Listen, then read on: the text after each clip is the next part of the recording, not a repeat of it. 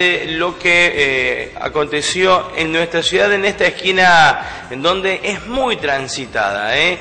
Hablamos de Sarmiento y Avenida San Martín. Aquí vemos el Volkswagen Polo que colisionó contra esta Peugeot 504.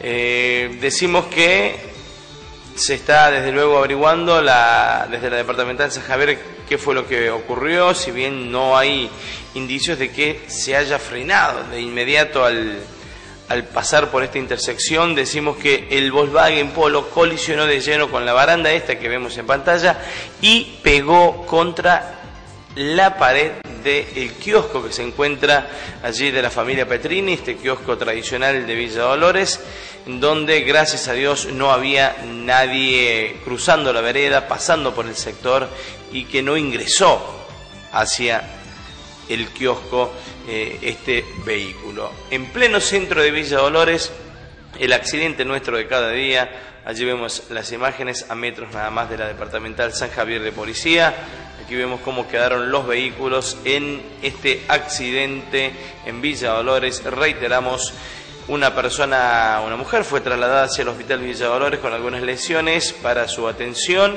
y de ahí en más, desde luego, accionó la policía. El accidente nuestro de cada día, el accidente nuestro que tenemos en Villa Dolores.